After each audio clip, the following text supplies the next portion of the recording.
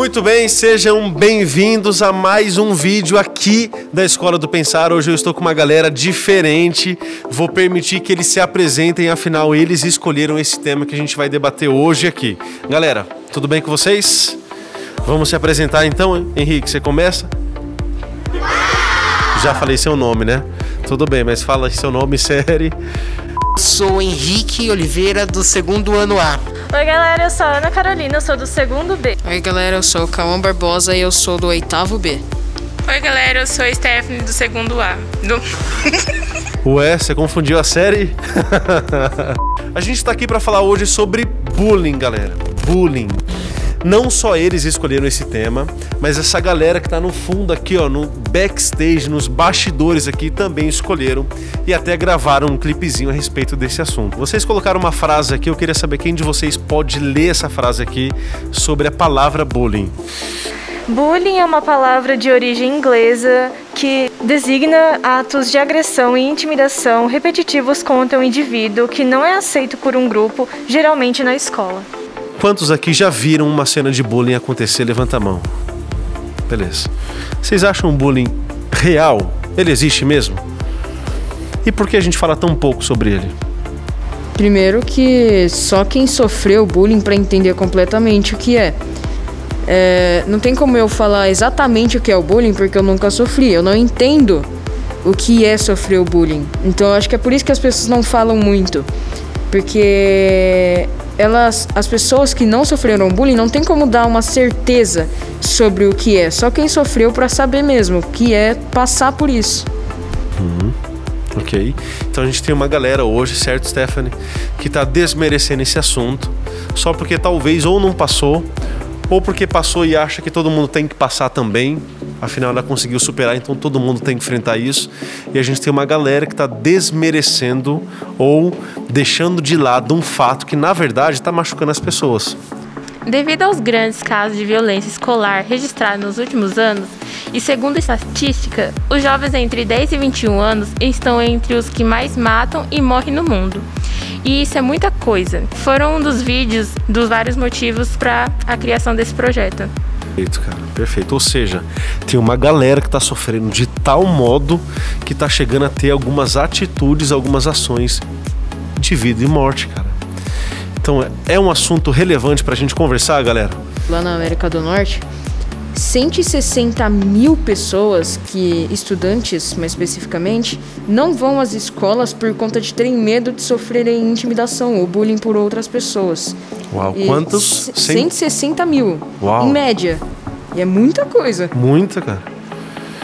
E aqui no Brasil será, né? Como que será que tá aqui no Brasil? Essa galera aqui que está aqui tanto aqui na mesa quanto nos bastidores aqui prepararam um clipezinho para vocês a respeito do bullying. Então você que está em casa aí, assiste agora de primeira mão o clipezinho, um curta-metragem, um mini curta-metragem sobre o bullying. É com vocês.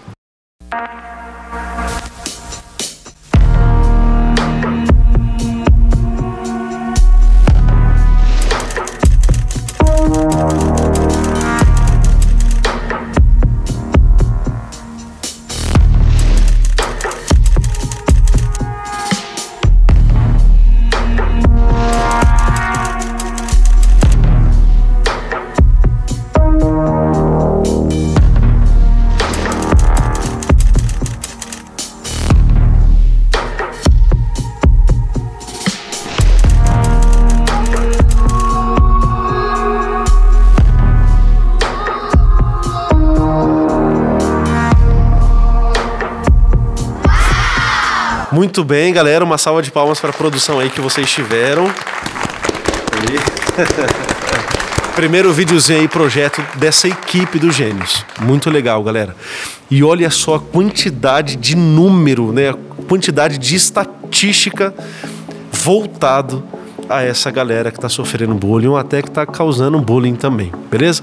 Bora falar sobre as consequências disso, o que, que isso pode desencadear na saúde? Ansiedade, anorexia, depressão, desinteresses pela escola e ataques de pânico. E assim, infelizmente, os casos mais extremos são o suicídio, ou seja, muitas pessoas são traumatizadas e levam consigo as marcas do bullying para o resto da vida. Uau! É muito sério, cara. Ou seja, pode ter pessoas hoje em dia que estão indo para consultórios de psicologia que na verdade estão indo por causa, ah, eu tô com depressão, eu tô com ansiedade, eu tô com isso. E na verdade isso pode ser apenas um sintoma de algo que está muito mais profundo e a gente não faz ideia, o bullying. O bullying pode desencadear isso nas pessoas, cara. Próximo slide, Cauã, lê pra gente aí. Existem vários tipos de bullying, dentre eles se destaca o bullying físico, verbal, moral, social, psicológico e o cyberbullying. Você vê, né? Quantas, quantos meios as pessoas não acham para conseguir intimidar alguém, né? Eu não sabia que tinha tanto bullying assim. Vocês sabiam? Que tinha essas várias áreas? Até pouco tempo atrás, não. Eu fui descobrir também que existia esse bullying, é, esse bullying moral aí, social, só na pesquisa. Esse aí eu nunca tinha ouvido falar. É diferente mesmo, né, cara? E por isso que a gente tem que tomar cuidado sempre. Porque pode ser que sem querer a gente está fazendo bullying com alguém e a gente não percebe e a gente está magoando essa pessoa. É ou não é? Sim. Agora, a pergunta que eu quero fazer para vocês: vocês acham que um dia a gente vai conseguir viver sem existir o bullying na não, nossa sociedade? Eu acho que ele não vai parar de existir, mas ele pode diminuir os casos. Legal. Eu acho legal. que não, porque o ser humano ele sempre tenta se se sentir superior às outras pessoas. Então uhum. acho que isso acho que é, como a Ana falou, pode diminuir, mas acabar. Legal. O Cauã tinha falado ali, a gente no backstage ali debatendo sobre esse assunto, ele falou assim: o mundo tá de mal a pior, não tem o que fazer. Mas a gente pode se acomodar a isso? Não, não é só porque a tendência do mundo é piorar que a gente vai fazer ele piorar também. A nossa nosso objetivo aqui deve ser melhorar o mundo e não acompanhar ele piorando para você ajudar ele a piorar também. Então, nós temos que procurar melhorar o que a humanidade está fazendo hoje. Nós temos que fazer isso acontecer. Não vai num piscar de olhos tudo isso acabar e o mundo virar um vale de flores lindas. Quebrar o ciclo vicioso. A gente precisa quebrar esse ciclo, cara. Perfeito, perfeito. Eu queria abrir um momento aqui para cada um falar com a pessoa que está em casa e dar alguma dica. Talvez quem está assistindo a gente é alguém que sofre de bullying. Talvez quem está assistindo a gente hoje aqui é alguém que pratica o bullying, perfeito, que faz o bullying com as outras pessoas. O que você quer falar para essas pessoas agora? Em 30 segundinhos, cada um aí. Vamos começar pelo Henrique aqui.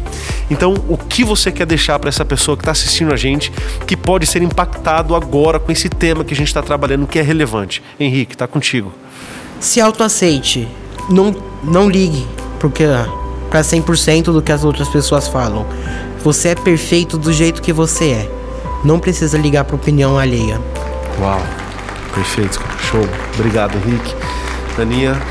E para pessoa que sofre, procure ajuda e não se cale em nenhum momento porque é muito importante a gente buscar ajuda, é, tratamento psicológico. O autoconhecimento, como até o Henrique falou, é uma parte extremamente importante, porque quando você se conhece, você sabe os seus pontos fortes, os pontos fracos, você sabe os seus limites, você, quando você também se conhece, você começa a gostar de si, se aceitar e o principal de tudo, se respeitar, saber dos seus limites. Então, procure ajuda e é, é, é isso. isso. Uau.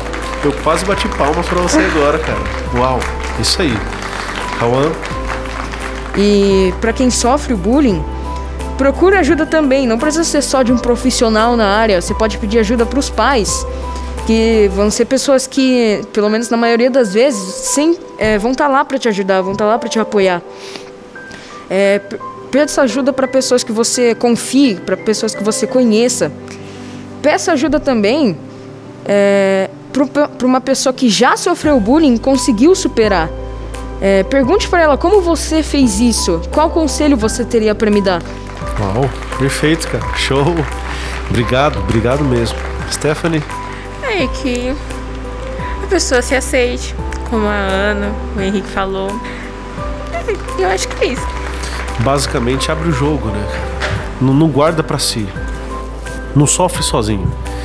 Você tem pessoas ao seu lado que estão aqui para te ajudar, que te amam, estão aqui para te proteger. Não ligue para o que as pessoas pensam de você e sim só sobre o que Deus pensa de você. E eu queria ler um salmo 139, 13, 14, que fala: Tu criaste cada parte do meu corpo, tu me formaste na barriga da minha mãe. Eu te louvo porque deves ser temido. Tudo que fazes é maravilhoso e eu sei disso muito bem. Uau, é isso aí. A gente foi criado à imagem e à semelhança dele. E ele tem um amor imensurável por nós. E se É um aí amor. tá falando não se importe com o que os outros pensem de você, se importe com Deus pense de você. E é o que ela acabou de ler, Deus te acha maravilhoso. Então, você tem que se achar maravilhoso também, porque Uhum. Deus acha isso de você. Então, reflita sobre isso. Perfeito.